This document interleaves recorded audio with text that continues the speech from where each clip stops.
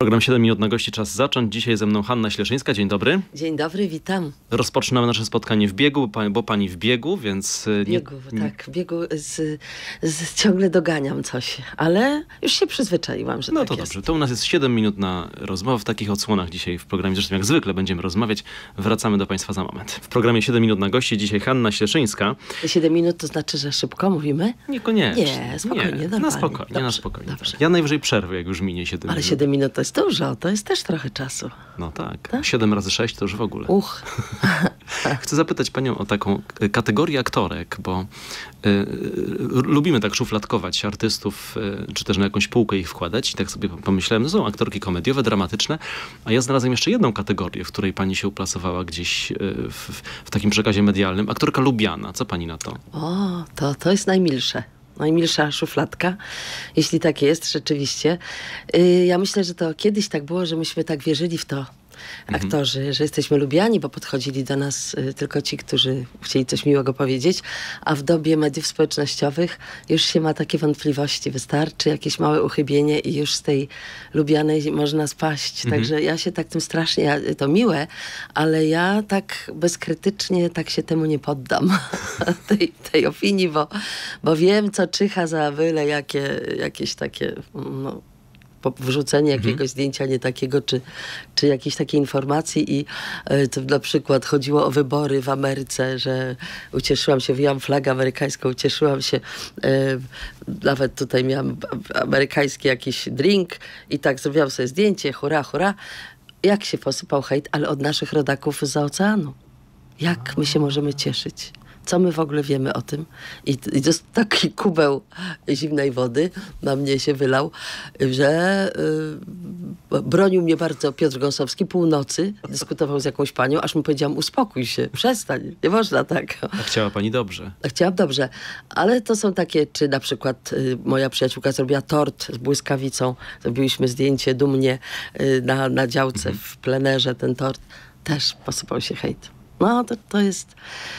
Czyli łatwo stać się aktorką nielubianą tak, chwilę. ale myślę, że mimo wszystko, oczywiście ja tak mówię, w- zahaczam o taki temat, bo, bo już sobie zdaliśmy sprawę, moi, ja i moi koledzy, o, jak, to, jak to bywa czasem, że człowiek zupełnie znienacka dostaje właśnie jakieś takie komentarze nieprzychylne, ale jednak ja muszę powiedzieć, że y, ja się stykam tak y, z ludźmi po spektaklu, czy gdzieś jak wychodzę, czy w taksówce, czy w pociągu, czy w, w przejściu, czy na bazarku, ja się rzeczywiście spotykam z, z miłą reakcją. Y, nie oczekuję jej, ale ona następuje. Myślę, że to jest taki, takie profity za to, że kiedyś grywałam takie postaci dobroduszne, czy jak Jadzia w, w rodzinie zastępczej, która wszystkich karmiła, robiła pierogi. Kojarzę się może z jedzeniem, z jakimś salcesonikiem i, i, i może też to. Albo po prostu, y, no rzeczywiście jest ta sympatia, to czuję i wszystkim bardzo dziękuję za, za to, że, że pozwalają mi tak, tak się czuć, bo to jest aktorowi potrzebne. Ale wie pani, z jednej strony rolę, a z drugiej strony ten bazarek, czyli ten, ten bezpośredni kontakt. bezpośredni kontakt widzem, i, prawda? i lubię rozmawiać z ludźmi, lubię, lubię te kontakty. Może dlatego, że jestem w stanie też i, i, pół godziny po spektaklu rozdawać jakieś tam, po- podpisywać coś, czy, czy robić zdjęcia, bo wiem. Zresztą zobaczyłam też kiedyś w Wiedniu, jak śpiewaczka operowa, e, po, po słynna, ale akurat nie nasza, Ola Kurzak, to bu- była inna śpiewaczka, która siedziała godzinę przy stoliczku po spektaklu i podpisywała płyty. I tak sobie pomyślałam, oj, trzeba się uczyć pokory, bo to godzinę, nie wiem czy nasze, nasze nie wiem jak śpiewaczki, Czy nasze ale, śpiewaczki by tak ale aktor, aktorki, nie wiem czy siedział godzinę po spektaklu i podpisywał. No, To y, od aktorki lubianej jeszcze przejdę do aktorki y, z tobołem na plecach. to tak, zawsze mam tobuł. mam tobuł wielki, to znaczy noszę dla niepoznaki małą torebeczkę taką tylko na jakieś takie kluczyki i coś, ale już obok jest duża torba, ciężka, ze wszystkimi gratami, które pozwalają mi przeżyć trzy dni w puszczy. Kobieta podobno ze swoją torebką by przeżyła, bo zawsze tam ma jakiś kawałek ciastka, czy jakiś tam kawałek czekoladki, może jakiś proszek na coś. Ja wożę takie różne gardłowe, takie, i, ale dlatego, żeby też rozdawać kolegom w teatrze.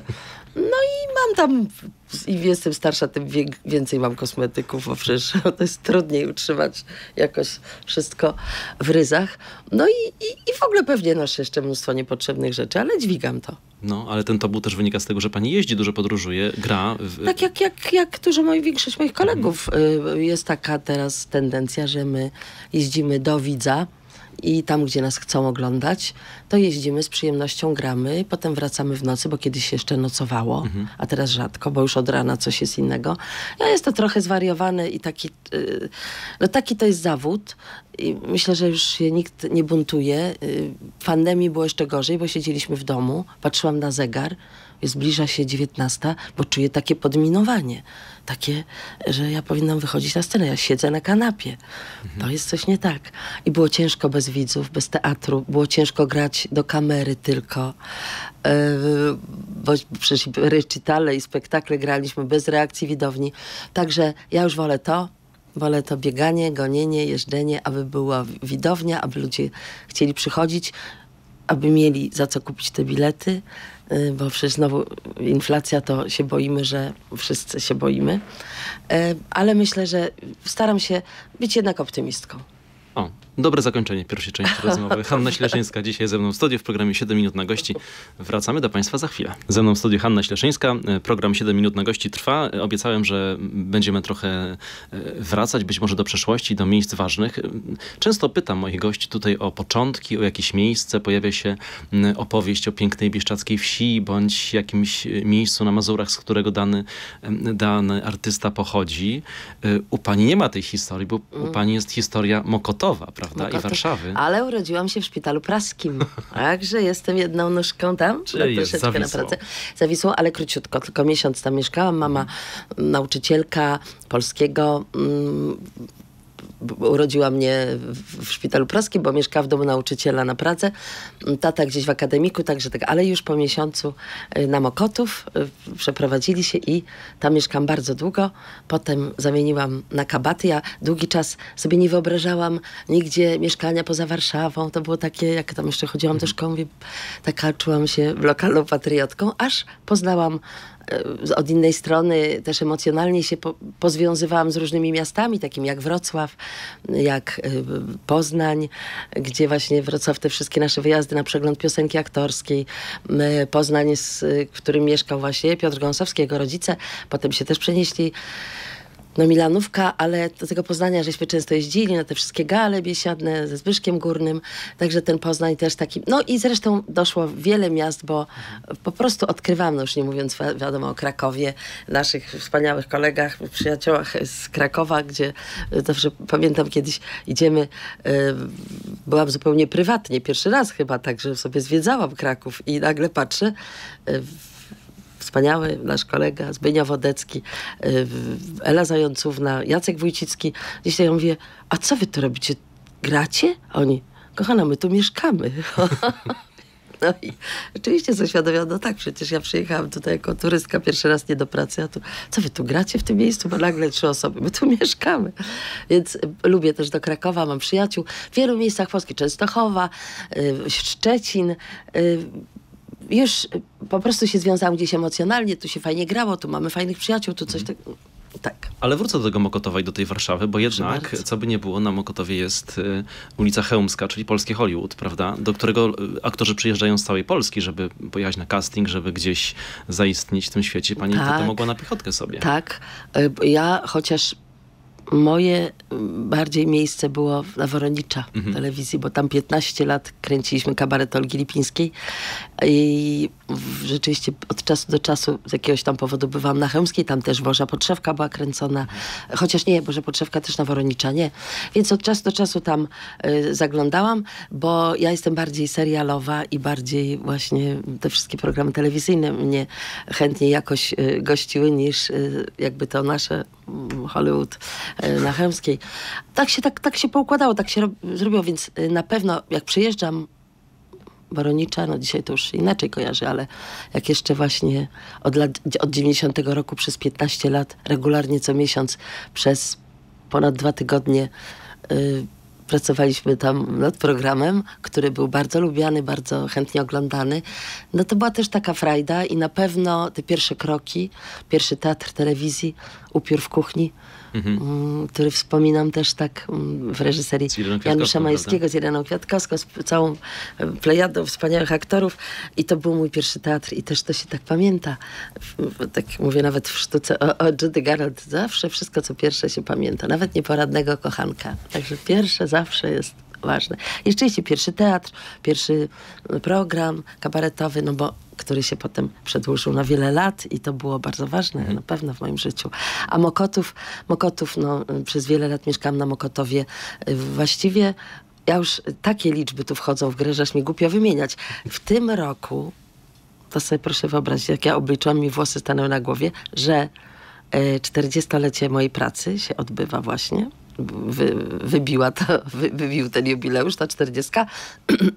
a w przyszłym roku 30-lecie naszej takiej formacji, no co by tu nie mówić, y, terce, czyli kwartet, no bo od tych 30 lat w, w tym składzie też no, występujemy i mm, Piotr Gąsowski, Robert Rosmus. Wojtek Kaleta nas opuścił, wybrał już pobyt w ciepłych krajach, y, no ale my ściągniemy go na ten jubileusz i, i, takie to już liczby wchodzą w grę, więc na tym Mokotowie mieszkam wiele lat. Mhm. Chodziłam do szkoły na Narbutta podstawowej, potem do liceum imienia Marii Koropnickiej na Madalińskiego.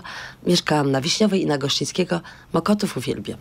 A z perspektywy Warszawy, ten, myśli pani, świat aktorski i, yy, no i w ogóle ta branża yy, jest no, łatwiejsza?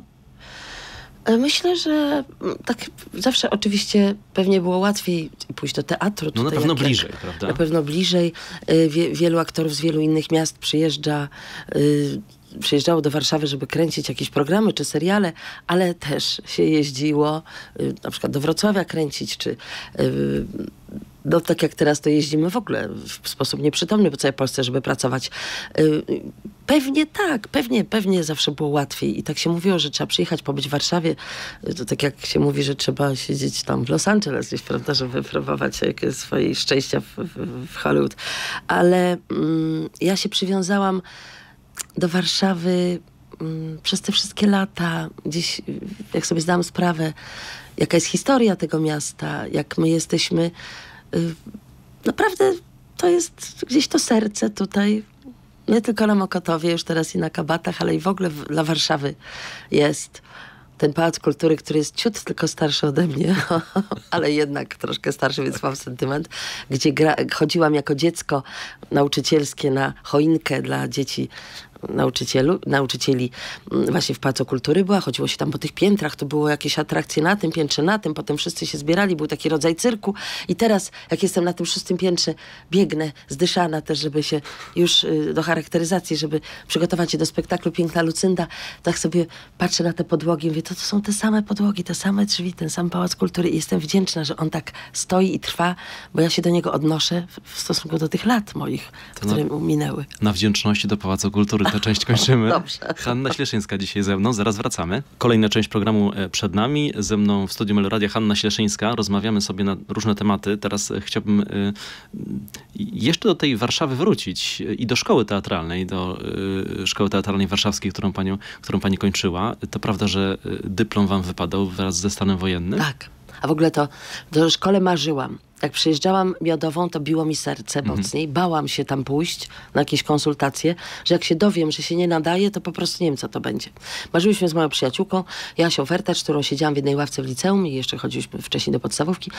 Najpierw tak się tak w cichości, potem już trzeba było powiedzieć to głośno, że będziemy zdawały do szkoły, bałyśmy się, że będą śmiać koledzy. Ale myśmy bez przerwy coś tam robiły, organizowały, występowały, a to w chórze, a to taki kabaret, a to... No, rzeczywiście to już było wiadomo, że że to nas bardzo tak nakręca, taka praca, no i marzymy o tej szkole. Jak składałam papiery do szkoły teatralnej, się potknęłam na, na progu, mówię, matko święta, czy to dobrze, czy to źle, może to za wysokie progi. No, ale na te konsultacje nie poszłam. Tak się przygotowałam, że... No i też oczywiście było na egzaminie, to już tak opowiadałam to wiele razy, ale że y, na pierwsze pytanie komisji, w której po prostu było to byli wszyscy aktorzy, bo ja oczywiście oglądałam wszystkie teatry telewizji, od czasu do czasu chodziłam do teatru, więc to byli ci wielcy aktorzy, którzy teraz ja przed nimi musiałam mówić tekst, no więc nogi się trzęsły. No i chciałam, ponieważ byłam, brałą w, w, w takim konkursie recytatorskim, a i tam mówiłam gwarą. Jak, jak ta gwara wyglądała, pewnie nie była stuprocentowo dobra, ale tak sobie wyobrażałam. y, Ze Skalnego Podhala, Tetmajera, mówiłam gwarą. No i jak zapytana, co powiem, to powiedziałam, że właśnie ja, no te, te gwary, te przerwy Tetmajera, to jest gwarą, tak? To nie może być. No i oczywiście przerażona powiedziałam coś innego, Różewicza, coś tam, czy Naukowską. I później, to teraz prosimy tę gwarę. I jak mówiłam ten tekst, który dobrze umiałam, nie bałam się go, to widziałam uśmiechniętą, promieniejącą twarz Wojciecha Siemiona, który przecież był specjalistą i od wiersza, i od gwary, i od w ogóle. I to mi dodawało otuchy, więc już tak patrzyłam w jego stronę, mówiłam. I, to był chyba 13 czerwca.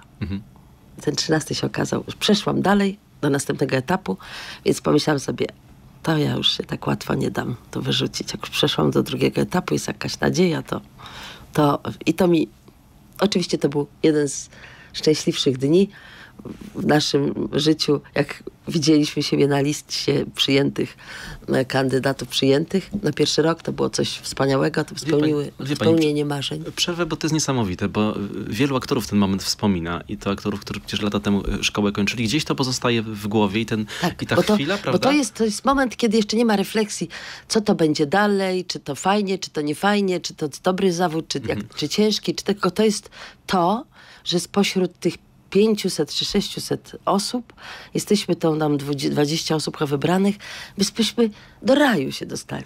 Tu są nasi wspaniali y, aktorzy, pedagodzy, którzy wtedy, Tadeusz Łomnicki, rektor, y, Zofia Mrozowska, y, Andrzej Łapicki, Gustaw Holubek, profesor Świderski, profesor Hanin, no, to byli wszyscy, którzy się tam po korytarzach przed scenami, więc to było. Potem trzeba było skończyć szkołę, nie wylecieć po pierwszym roku, skończyć z jakimiś w miarę ocenami, e, najlepiej z wyróżnieniem, dostać dyplom i zrobić przedstawienie dyplomowe i po tym pierwszym przedstawieniu dyplomowym, to chyba ja tak opowiadam, ostatnio mieliśmy taką dyskusję kole, wśród kolegów z mojego roku, bo ja mówię, słuchajcie, ja w jakimś wywiadzie powiedziałam, że w środę była premiera, a w niedzielę stan wojenny. Ja się tego trzymam, tej wersji, bo to skądś wynikało. I zaczęliśmy sobie tak przypominać, rzeczywiście.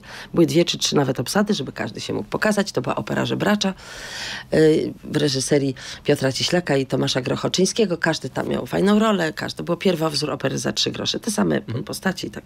I śpiewane piosenki jeszcze które wcześniej napisał nieodżałowany Jaś Raczkowski, którego wszyscy uwielbiali w szkole. Niestety już, już też go nie ma, ale, ale wspominamy go bardzo miło. Był fantastycznym naszym takim właśnie akompaniatorem i takim specem od, od, od piosenki. I, mm, I to był szok. W niedzielę ogłoszenie stanu wojennego i te nasze marzenia, nadzieje, wiedzieliśmy, że to już nie będzie tak łatwo. I to był taki jak teraz patrzę, jak dziewczyny młode, cieszę się, grają już na pierwszym roku, drugim. Oczywiście tam większość z moich kolegów z mojego roku, z roku wyżej, jeszcze wyżej, zagrała w godzinie W. Bo to rzeczywiście, jak ktoś sobie chce, ja akurat nie, widocznie nie, nie, nie pasowało czy coś, ale naprawdę dużo kolegów grało e, w godzinie W. Więc y, powstańców, dziewczyny, chłopaków, którzy, prawda, no, w trudny czas, I jak sobie tak myślę o naszym roku i te dziewczyny moje wspaniałe z roku, piękne, które ile myśmy musiały czekać, żeby nas ktoś potem zaangażował, żeby w ogóle zaangażować się do teatru jakoś cudem. Poupychaliśmy się po teatrach. No, ja też nie chciałam wyjeżdżać z Warszawy, ale na pewno nie było to łatwo, nie był łatwy start. No ale no, żeśmy tam przezwyciężali te, te trudności. Teraz układaliśmy piosenkę dla naszego kolegi Jacka Mąki, który obchodził jubileusz. Teatr mu zrobił e, w e, Kielcach i zrobiliśmy piosenkę, ułożyliśmy, nagraliśmy, przesłaliśmy mu. No i właśnie w- do tej piosence też jest ten moment, że wtedy za naszą pensję mogliśmy sobie kupić 10 dolarów. No, ale jakoś wytrzymaliśmy, no. pracowaliśmy, zarabialiśmy, mieliśmy jedną rzecz więcej niż teraz młodzi, mieliśmy etat w teatrze, bo wtedy nie można było być bez etatu. Czyli miejsce, gdzie się gra, gdzie się przychodzi, gdzie ktoś nas obsadza w sztukach, może się opiekuje artystycznie, także to było istotne dla młodych aktorów. Na tej opowieści z przeszłości kończymy tę część. Hanna Śleszyńska dzisiaj jest gościem programu 7 minut na gości. Zostańcie Państwo z nami. Hanna Śleszyńska, jej opowieść o karierze i o tym, co działo się w artystycznym życiu i dziać się będzie. Jaki Pani ma teraz plan y, na swoją artystyczną, najbliższą przyszłość? Właśnie, tak y, trudno, y, są takie mieszane uczucia, bo z jednej strony to już i ten wiek i te, i te liczby to skłaniają do tego, że to no ile, ile trzeba pracować, kiedy powiedzieć, że dosyć. No słyszałem, No. że najgorzej jest to the best of zrobić. No to właśnie, wtedy to już nie właśnie. bardzo wiadomo. Ale, ale jednak człowiek tak cały czas myśli, że jeszcze przed nim tyle i, i chciałby jeszcze dużo zrobić. No ale to, to, to siłą rzeczy te pewne jakieś tam podsumowania są i, i właśnie wszyscy koledzy tutaj rob, organizują, czy ktoś im organizuje, czy sami sobie robią jubileusze. No my też powinniśmy to zrobić. I e, oczywiście ja już jestem też na takim etapie, że ja się cieszę z sukcesu dzieci, sukcesów dzieci i z, z ich planów, z, z młodych aktorów. Już się tak od jakiegoś czasu czuję takie, takie skrzydła, takie opiekuńcze, żeby, żeby coś z siebie dać też tym młodym. I właśnie jak widzę syna i jego kolegów, którzy, którzy stworzyli spektakl y, Sinatra 100 Plus i grają go na szóstym piętrze, to ja jestem po prostu taka dumna, że już y, zapominam o tym właściwie tak już myślę, że a może ja już nie powinnam, może trzeba to już dać tym młodym, bo tak myśmy zaczynali z takim zapałem te 30 lat temu, kiedy robiliśmy pokazywaliśmy Wojciechowi Munarskiemu i Jurkowi Derflowi właśnie nasz program, którym nasz recital wspólny tercet, czyli kwartet. Oni to oglądali, siedzieli sami na widowni, wtedy byliśmy aktorami Teatru Nowego w Warszawie, u Adama Hanuszkiewicza. Patrzyli i właśnie Wojciech y, Munarski zdecydował tak, to zabieram was ze sobą w trasę po Kanadzie. I to było wielkie przeżycie. I myśmy naprawdę dali tyle serca. I jak widzę teraz, oglądam młodych właśnie w tym spektaklu, który można obejrzeć, bo jest grany w teatrze Szóste Piętro, a będzie też niedługo w Szczecinie, w Częstochowie, to, y, to jestem taka dumna z nich i, i, że to jest ten sam żar i ten sam, y, ta sama energia, która rozsadza Czyli trochę widzi Pani siebie w tym, w tym, co się dzieje na scenie i wokół, wokół tych I- projektów, tak? I zazdroszczę, ale ponieważ y, człowiek tak chce jak najlepiej dla tych dzieci, a te dzieci to wszystkie tak traktuję, jakby to było moje, bo, bo nie tylko syn, ale w ogóle jakoś tak się czuję z, z nimi związana bardzo, to mm, jest już to przeważa. To już jest coś takiego, że cieszę się, że są następni, że im się chce, że oni mają takie skrzydła, że trzeba im dać też tej energii dużo. I, i jest takie przyjemne, że ja właściwie już, już nie muszę się tak jakoś spinać. I to też jest przyjemne, będąc na scenie. Chociaż odpowiedzialność jest z wiekiem coraz większa. To nie znaczy, że nie ma tremy. Cały czas trema jest w naszym przypadku. Czyli nie ma odcinania kuponów, tylko y, cały czas... Pewnie gdzieś tam te kupony jakieś są, no bo Aha. to jak się tyle lat wysoko, to chociażby ta sympatia widzów, prawda, że więcej wybaczą, czy że y, ja nieraz tak, tak się denerwowałam, jak jeszcze wcześniej graliśmy politykę y, na szóstym piętrze i ja wchodziłam na scenę i miałam oklaski i się śmiali ze mnie, no to to, to tak jak taka, już wiesz, aktorka, ćwiklińska, wchodzisz w oklaski za to, że w ogóle wchodzisz, że jesteś na scenie. Ale ja mówię, no tak, ale teraz sztuka jeszcze i na zejście mieć te oklaski. No i to jest oczywiście, to jest jakieś takie zobowiązujące, że trzeba y, zadowolić widzów. Zawsze się starałam, ale oczywiście ten, ta odpowiedzialność na barkach jest, że trzeba jakoś ich ugościć, trzeba im jak naj, najlepszy dać produkt, y, ten spektakl, żeby byli uszczęśliwieni, a jednocześnie w takim estradowym już bardziej y, programie to czujemy, że, że to jest taki rodzaj wolności. Pamiętam, Adam Hanuszkiewicz mówił o tym, że w pewnym momencie się czuje, że właściwie wszystko już wolno, że wszystko można, oczywiście z jakimś tam wyczuciem, ale że ani się nie zdaje egzaminu już, ani się już nic nie zmieni z tego, co było, a to, co przed nami, no jeszcze się delektujemy tym, że w ogóle, że fajnie jest pracować, ale na pewno nie do upadłego, nie do, nie do jakiejś, że aktor, to jest jak się mówi, o, że aktor nie, nie może chorować. Aktor wtedy nie gra, kiedy już nie żyje. No bo właściwie dopóki y, pamiętam, jak miałam anginę i zadzwoniono do mnie, bo monodram gram, więc to nawet no nie miał kto zrobić ani zastępstwa, ani nie dało się. Więc no jak, pani Haniu? Ja mówię, no mam anginę. Biorę antybiotyk. No dobrze, tak, ale a jutro zagra pani? Ja mówię, no pomyślę, postaram się, bo strasznie głupio nauczeni jesteśmy, że się nie odwołuje. No i że nawet, oczywiście naszpikowałam się antybiotykami, zagrałam byłam tak słabiutka, jak zeszłam ze sceny, ta adrenalina daje nam takiego kopa, że oczywiście, że gramy. Tylko już dzisiaj tak myślę, czy to na pewno jest sens. No bo pandemia też udowodniła, że wszystko można odwołać, wszystko no można przełożyć. Także jednak to zdrowie jest najważniejsze, ale, ale to nasze wyszkolenie i to, co nam wpojono w, w szkole, na studiach, że po prostu aktor nie choruje. Ale myśli pani, że to się zmienia, że te młodsze pokolenie aktorów już tak nie podchodzi do tego, jako do misji? Yy, znaczy, oni są pełni poświęcenia, bo był jeden z kolegów grał z, y, właśnie inaczej go nie stepował wtedy. Miał nogę w bucie ortopedycznym. Ja mówię, słuchajcie, trzeba zagrać. To po prostu, to jest ta szkoła Haduszkiewicza. To jest po prostu postawimy go i powiemy, Sinatra też by nie odwołał. I, i rzeczywiście mm, Maciek Tomaszewski zagrał z, z tą nogą. Właśnie to było tuż przed premierą się stało. Y, myślę, że kochamy swój zawód i i wyobrażamy sobie, jak zawiedziony jest widz, kiedy się coś odwołuje, kiedy się coś przekłada, kiedy, kiedy człowiek jest w niedyspozycji. No oczywiście y, to chyba jest już wpisane, to już jest mhm. chyba taki odruch aktora, że staramy się. Myślę, że no, trzeba pewnie młodych zapytać. Myślę, że, że mają ten sam żar. Ja to widzę, że oni po prostu y, uwielbiają to, czują się wspaniale na scenie i, i pewnie z dużym poświęceniem też, też zagraliby. Był, był właściwie nie też była taka stacja, że oczywiście dziesiątkował COVID zespoły, więc jak e, ktoś tam zachorował, to też było takie szybkie, nagłe zastępstwo. Adam Hanuszkiewicz nie odwoływał e, z powodu choroby aktora spektaklu, brał egzemplarz i mówił, dzisiaj tę rolę będę czytał ja. I to było wydarzenie.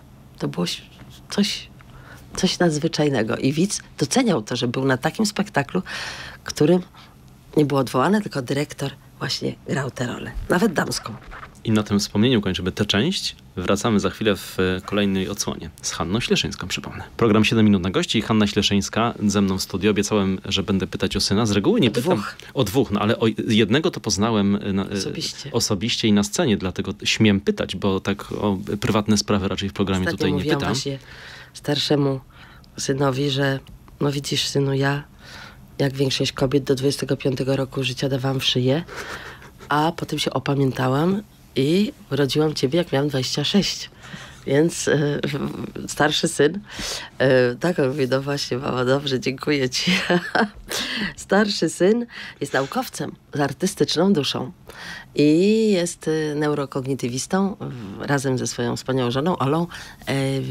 W tym roku odebrali na uroczystości wielkiej na SWPS-ie, na Uniwersytecie SWPS odebrali dyplomy doktor, doktorów, także mm, neurokognitywiści. Jestem dumna, dlatego tak to podkreślam. Nie Przyznaję, każdy... ja nawet nie wiem, czym się zajmuje neurokognitywista. No, badaniem właśnie mózgu od strony psychologii. Także ja tak to oględnie, wiem, że nie, może wy się uśmiechną pod wąsem, Mikołaj, ale y, można sobie sprawdzić dokładnie. Ważne, żeby umieć to wymówić. Neurokognitywistyka i y, nasi wspaniali y, no w pandemii robili, bronili prac doktorskich. Mhm. A młodszy syn, Kuba, poszedł w ślady rodziców i skończył Akademię Teatralną w Warszawie a w pandemii yy, napisał scenariusz, bo właśnie to był taki okres, albo go można było jakoś wykorzystać, y, z, jakiś potencjał stworzyć nowy, albo się jakoś troszeczkę tak, no więc troszeczkę się najpierw podłamał, że ta pandemia, ale potem y, miał dużo czasu, więc od lat fascynowało go życie i twórczość Franka Sinatry, aż już naprawdę to było uciążliwe czasami. Mówię, słuchajcie, puszczę wam tego, co, zobaczycie to. Mówię, tak, Frank Sinatra. Nie, nie, nie, nie, nie. Puszczał oczywiście Frank Sinatra. Już y, że dzięki niemu poznałam oczywiście mnóstwo utworów. Tylko go pytałam, to jest który rok? Ile on miał wtedy lat? A on tu miał 80, mamo, zobacz jak śpiewał New York. I, tak, i, to, i to y, wkręciłam się w ten temat. Napisał scenariusz. Potem cała sprawa castingi, wybieranie kolegów z tego. Nam przede wszystkim namówił Piotra Kostrzewę, wspaniałego e, kierownika Chopin University Big Band, który no, odpisał mu maila, na mail, jego maila, że ma taki pomysł i wchodzę w ten pomysł. No i od tego się zaczęło. Potem dobranie wspaniałego zespołu. Yy, młody, zresztą to była współpraca Szkubo, bardzo młody scenograf, yy, bardzo młody reżyser. Wszyscy po prostu to była wspólna praca. Premiera była w, w teatrze szkolnym, ale ponieważ to nie był dyplom, tylko taka Mhm. zewnętrzna, zbieranie pieniędzy po znajomych, po rodzinie, po, po jakieś y, chodzenie po firmach i tak dalej, i tak dalej. To był dłu- długi proces, ale jak to już było postawione na scenie i można było to zobaczyć, to naprawdę to było wzruszające. Oglądaliśmy to, premiera była w maskach, więc... y, Można się było wzruszać. tak, a tam naprawdę i, i choreografie pomagały Ania Głogowska i Żina Nowakowska, Step, y, właśnie Grzegorz, y, Piotr Kostrzewa, y, Grzegorz Kwiecień pomagał w reżyserii, y, opiekę wokalną tam miała Jania Serafińska, Janusz Szrom, naprawdę dużo ludzi się w to zaangażowało, ale żeby pomóc. Ale pani też zaangażowanie w to było duże. Zapytam tak, już tak. ogólnie. Nasze, rozumiem, moje, że, Piotrek, tak, rodziców. rozumiem, że tutaj była, Tak, była taka tak. piecza, tak? Tak, dziadek, y, d- d- brat stryjeczny z Ameryki, d- d- każdy trochę finansowo wsparł, a tu kostiumy pomogliśmy, a tu ktoś, ale naprawdę to było też takie fajne, że ludzie się w to wkręcają i chcą, jak widzą taką energię młodych, no Mateusz Karolczuk przecież kostiumy też pasjonat, wszyscy, jeżeli kogoś nie wymienię, to przepraszam, bo naprawdę tak dużo tutaj było tej energii, że to powstało i później okazało się, że no nie bardzo tam mogą grać, bo tam dyplomy w tej teatrze szkolnym, więc Kuba tam nakręcili fragmenty spektaklu, rozesłali po teatrach i Teatr Szóste Piętro akurat się zainteresował, powiedział, bo nie ma tam na listopad, ma wolne terminy na Sylwestra i zresztą w tym roku też w Sylwestra grają, więc ten power taki i ta miłość i te marzenie o synaczy się, a teraz jadą pierwszy raz do Szczecina, także jeśli ktoś yy, chce pójść w Szczecinie w grudniu, to jest taka możliwość, a potem w lutym w Częstochowie. No trzymam kciuki za nich i też yy, bardzo tak yy, liczę na takie, no na to, że właśnie wzbudzą to, co odczuwamy my na widowni, taki rodzaj tęsknoty za tą młodością, energią, za tymi marzeniami, bo marzenia się spełniają. To ja zapytam jeszcze o te dusze, bo często się mówi, że niektórzy aktorzy mają y, starszą, niektórzy młodszą duszę i są tacy, którzy mm, tę energię mimo y, upływających lat wciąż mają. Pani jakoś to przez... Jak to pani przez siebie y, widzi? Ja to widzę tak, że y, aktor, ak- aktor to kiedyś tak była taka recepta, że cały czas musi mieć duszę, naturę dziecka, cały czas się dziwić, mieć taki rodzaj naiwności, bo jak się stanie takim zgorzkniałym obserwatorem życia, nie będzie mógł się dzielić tym zdziwieniem, tą świeżością i tym takim, taką pasją i takim może to jest naiwne, bo pewnie byliśmy młodzi, ja się też staram, żeby nie być takim głosem dla Kuby, takim, że ja już coś wiem więcej, żeby go nie zniechęcać, bo on wtedy mówi, mamo, nie podcinaj mi skrzydeł. I rację ma, bo to doświadczenie powoduje, że człowiek zaczyna inaczej patrzeć, a trzeba pielęgnować w sobie to, żeby mieć rodzaj takiego światła, które się ma w młodości, bo przecież mówią, że jeśli człowiek nie, nie bardzo wie, co dalej robić ze swoim życiem, przypomnij sobie, o czym marzyłeś w dzieciństwie, bo to jest najpiękniejsze. To jest taki rodzaj czegoś takiego, co trzeba nieść przez całe życie, jednocześnie nie zrażać się byle krytyką i hejtem, bo nie możemy się zrażać, bo trzeba to nieść dalej, ocalić. Najpiękniejsze i wzruszające jest to przecież, to nawet są łzy wzruszenia w tych wszystkich programach, gdzie ludzie y, wychodzą utalentowani, pokazują coś, bo to początkiem są marzenia i dlatego wspierajmy młodych.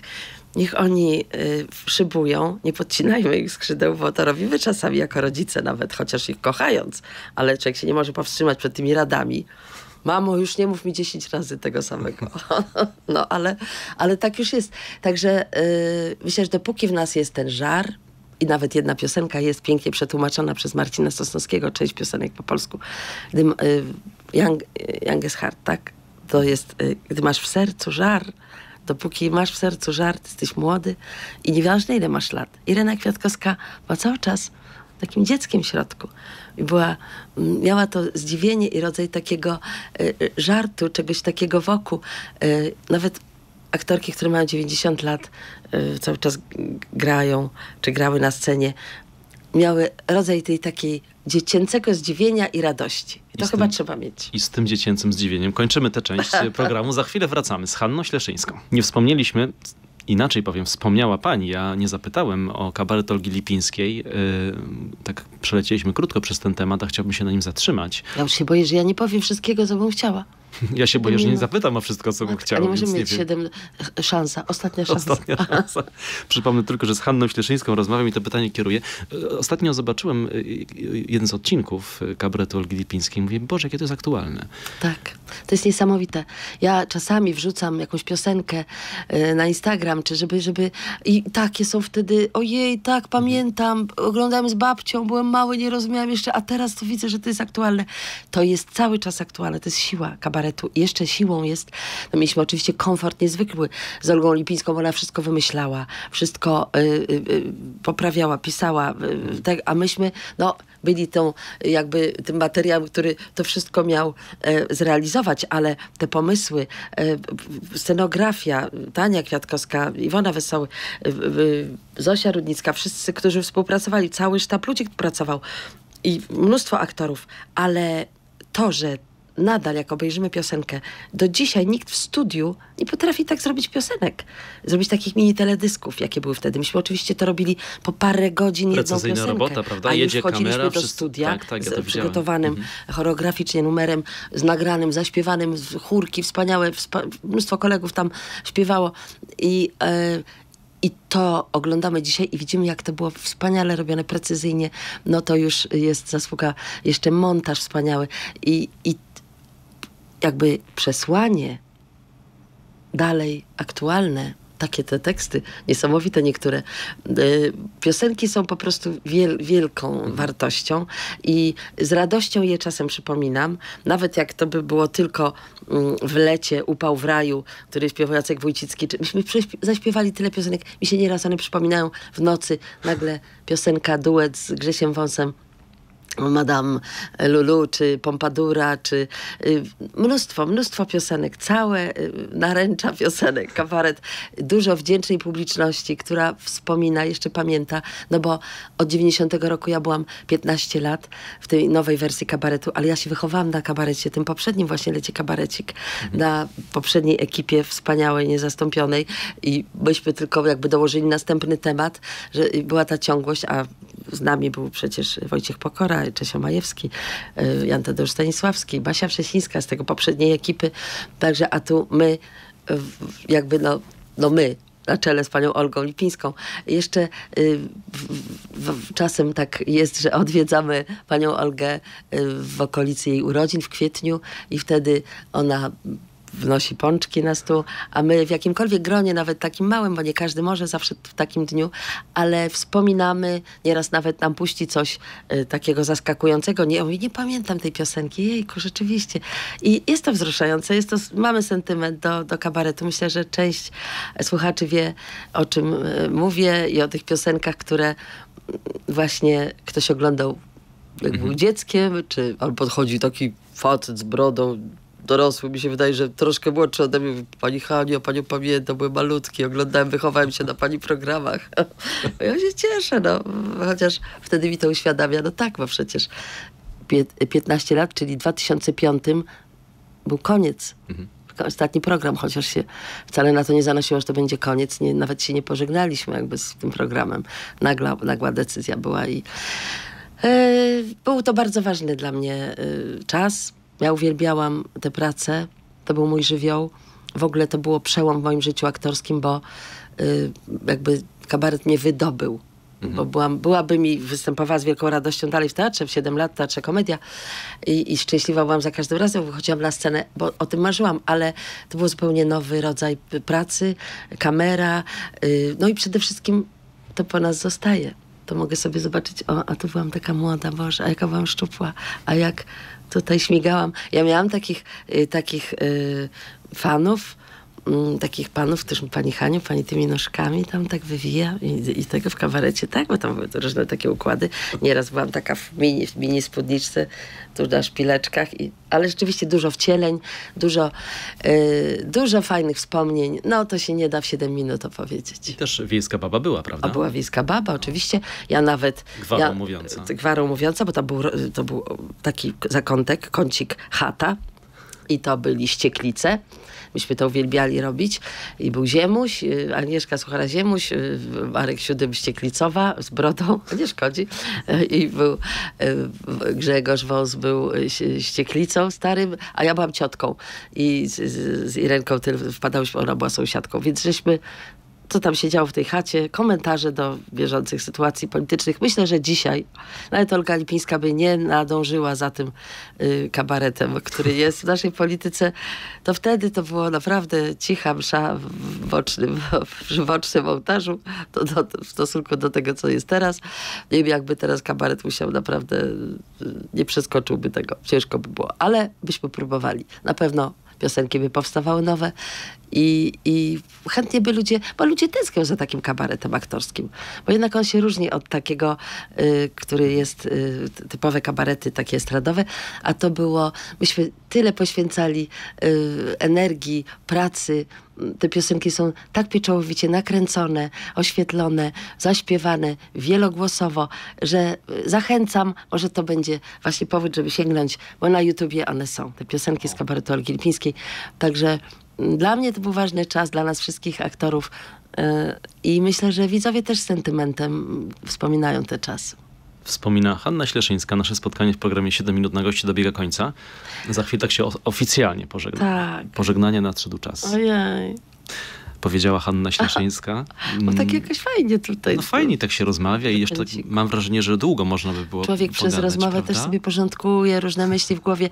Zawsze e, rozmowa jest podobno no jak już tu jako matka neurokognitywisty, to mówię, że rozmowa podobno najbardziej wytęża pracę e, mózgu, umysłu, nawet bardziej niż takie rozwiązywanie krzyżówek, bo Y, bo to jest coś nieoczekiwanego. My słuchamy, analizujemy, odpowiadamy, szukamy słów.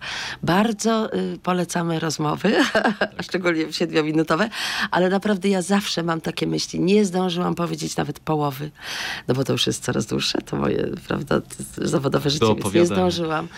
Y, ale wszystkich jakby ściskam, uściskuję już w takim czasie, kiedy za chwilę już będę też szał przedświąteczny, prawda, bo to, więc już korzystam, może będę pierwsza, z tymi bo teraz to kto pierwszy, prawda, zrobi te... Last Christmas, tak? pierwszy zagra. To my tutaj świątecznie już uściskujemy. Zapraszam na wszystkie spektakle, z którymi jeżdżę po całej Polsce. Obiecuję, że chętnie uściskam Państwa y, nie tylko wirtualnie, ale i w naturze. Y, I właśnie tych spektakli jest Serca na odwyku, y, Judy, czasem może też i akompaniator, Bożyszcze Kobiet, z moimi wspaniałymi kolegami jeździmy też, mamy spektakl muzyczny, koncert piosenki Młynarskiego, Osieckiej. Dla to wszystko zapraszam Państwa y, bardzo serdecznie pozdrawiam, życzę optymizmu, y, żeby się nie poddawać złym myślom i żeby przyjść do teatru, do Teatru Kwadrat na przykład, na umrzeć ze śmiechu. Na zaproszeniu kończymy. Hanna Śleszyńska dzisiaj była moim Państwa gościem. Jesteśmy na playremeloradio.pl, jesteśmy też na YouTubie.